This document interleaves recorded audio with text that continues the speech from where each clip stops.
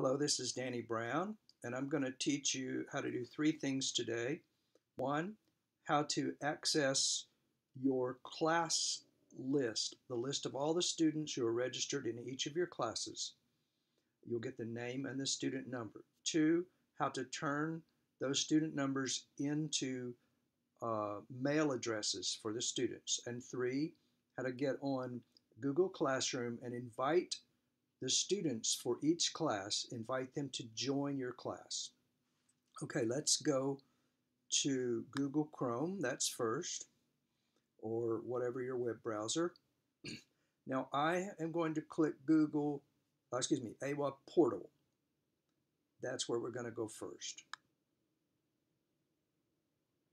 And you can see my uh, login here. I believe you know uh, your user ID and your password. If you do not know your user ID and password, that's going to be a bit of a problem. I sent a note to you about it uh, in my last email.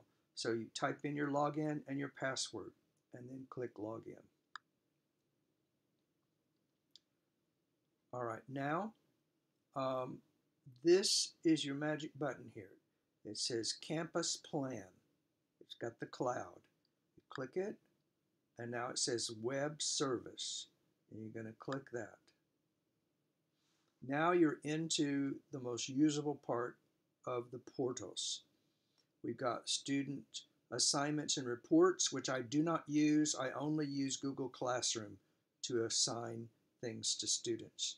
We've got the syllabus, which uh, you already put your um, classes on syllabus, but you can check your syllabus again if you if you need your syllabi. We've got your uh, grades and registration. This is your class lists. And you've got private information about your students. If you need the students' information, you can look up individual students here. Let's go to the uh, grades and registration. Click. Now, this here says uh, these are your classes at a glance, and this is for searching other classes using the name or the class number or the teacher's name. We're going to click here, My Classes at a Glance. Now, these are all the classes that I teach this year at Eiwa. Um, here is English 1AA. This is the class name and this is the section name. This is most useful. English 1AA. And uh, over here, this says first semester. It's a first semester class.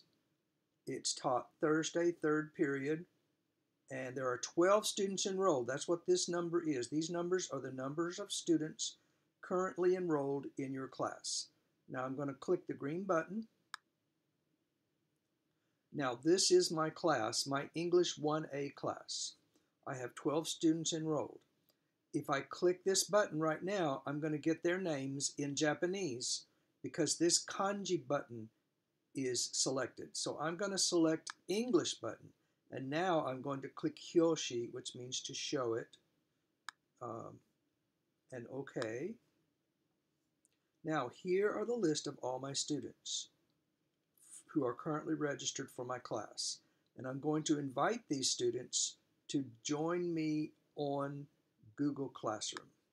All right, so I'm going to click and select those, go up to the top, and on Chrome menu, click Edit Copy.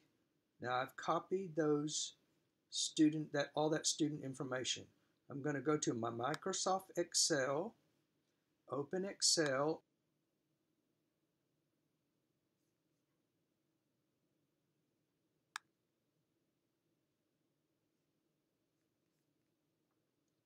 and I'm going to paste that information into the Excel.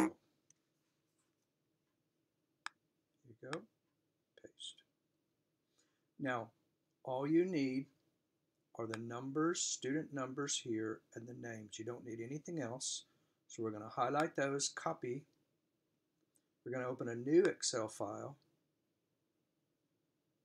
and paste again. All right, here are the names and student numbers. And the next thing we need to do is to change these student numbers into email addresses. So we're going to highlight only the student numbers, go up to the Excel menu, Format, Format menu, click Format, click Cells. There you go. Now you have, I don't know how your Excel is set up. You've got these possibilities. You want to be on Number, Custom. Now, you're going to scroll down here until you get to the at mark, at, and you type quotation mark, Yamanashi, no capital. You want hyphen, now this is hyphen, not dash, Eiwa dot AC dot JP, and another quotation mark. All right. Now, when you add this, oh, excuse me, I made a mistake. We need another at here. That's strange, but you need two ats. So you're going to add this to each of these student numbers, and you'll end up with an example here. This is an example of a student number. Now I'm going to click OK. Okay. I have my student numbers made, okay, and their names. I'm going to open a file, a Microsoft Word file.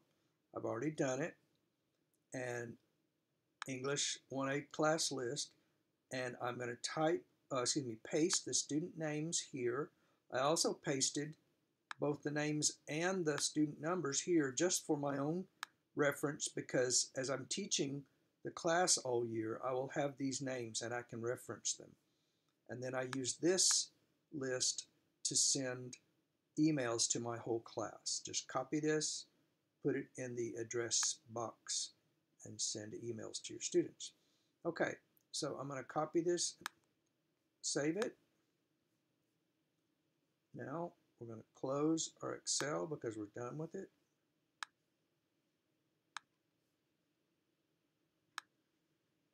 Now the next thing we do is go to Google Classroom. I have Google Classroom here bookmarked. You can just type it in if you need, Google Classroom. Now I'm already signed in, so I don't need to sign in.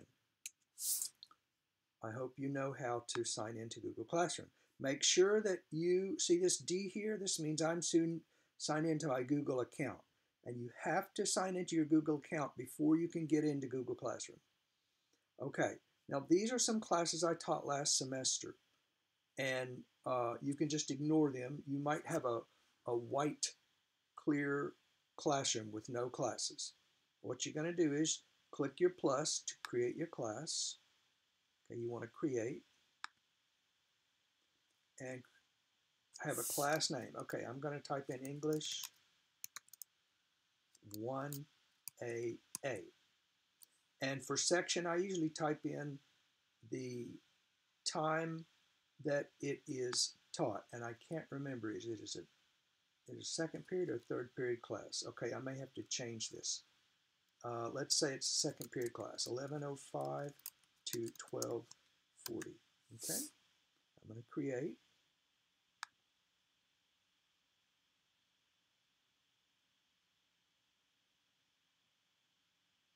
Okay, so now I'm already into my class, but if I go back to Google Class to start with, there are all my classes, and you can see this is the one that I've added, all right? If you want to edit the name, you can edit the name. Okay. Now, I want to add students to my class, so I'm going to go to People, uh, Danny Brown is the teacher. I want to add students. Okay. And there's the invitation link. Now, type a name or email. I'm going to take this list of student emails, and this is my real class list for English 1AA class. Copy it, and I'm going to paste them. Okay, I just pasted every single student in my class.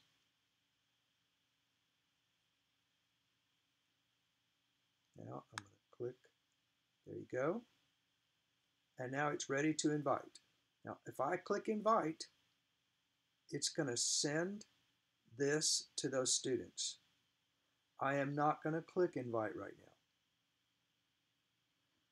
I don't need those students to join my class now. Okay, um, the students will get that email and they will click the link and they will be joined to your class. Then later, you will open your class, go to people, and you'll see a lot of students who have joined your class. Okay, that's it. I hope that works for you. If you have any questions, let me know.